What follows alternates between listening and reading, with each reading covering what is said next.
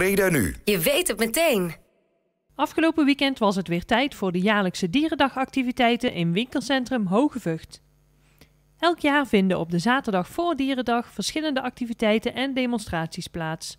Mensen konden ook zelf hun huisdier meenemen en bij de verschillende kraampjes informatie opdoen. Vandaag uh, buiten bij onze winkel is er een uh, dierenfotograaf waar uh, heel groot gebruik van gemaakt wordt, zie ik op dit moment ook. Op het middenplein hebben we een aantal demonstraties met huskies, met uh, pakwerkers, uh, met honden dus van de beveiliging. Uh, vanuit de oliemeulen zijn ze er met spinnen, slangen en hagedissen. Er is eigenlijk een, dagvullend programma tot vanmiddag 4 uur. Nou, zoals de mensen natuurlijk zien, we hebben een hele leuke stand vandaag met allerlei hele leuke spulletjes. je kunt denken aan onze vliesvlossen. we hebben leuk speelgoed voor de katten bij. we hebben allerlei folderinformatie bij. Maar de kinderen kunnen natuurlijk ook, en dat is heel erg leuk, knitten gooien. Nou, mensen denken altijd, wat is dat? Nou, zij kunnen drie keer met een gebreid poesje gooien. Hebben ze raak, dan mogen ze een poesje naar keuze uitkiezen.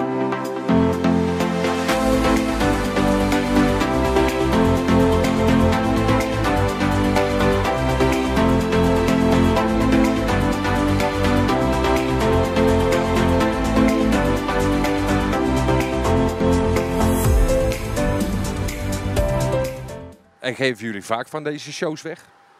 Uh, afhankelijk of dat we er ook echt de tijd voor hebben. Kijk, ik ben nou ook uit de nachtdienst uh, gekomen om, uh, om eigenlijk een demo weg te geven. Maar ik doe dat puur gewoon ook omdat ik het leuk vind om mensen te motiveren. En om te laten zien dat je ook een andere tak hebt met hondensport. En, en in ieder geval de hondenafrichting.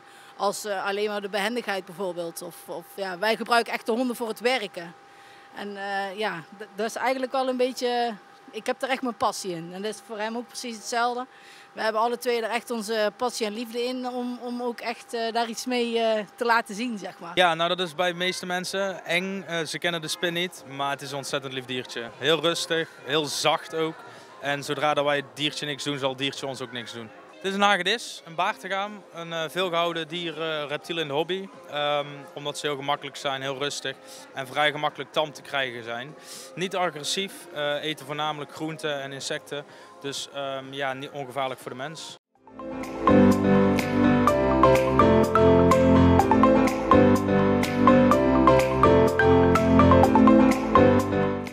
De knuffelhuskies. Ja, hoe je het verzonnen krijgt weet ik niet, maar het is wel ontzettend mooi natuurlijk. Nou ja, het verzinnen is het meest makkelijke. Een groep honden bij elkaar krijgen om dat te kunnen gaan doen. Dat is het moeilijke eraan.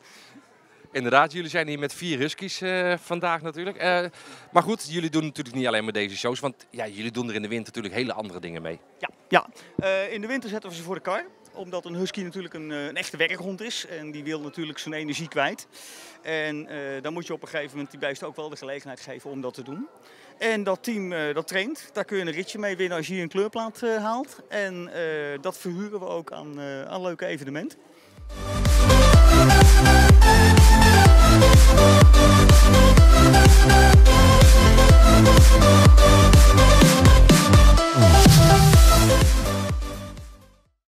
Nu. Je weet het meteen.